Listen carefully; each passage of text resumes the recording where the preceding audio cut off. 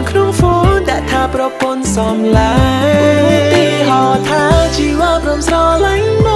កហ៊ានរៀបការយកកូនជូនអូនទៅកូនកូនឡើយតែបានត្រឹមស្រមើមិនដឹងថាអ្នកផ្សេងឃើញអូនហើយប្រែខ្លាយជីវ៉ា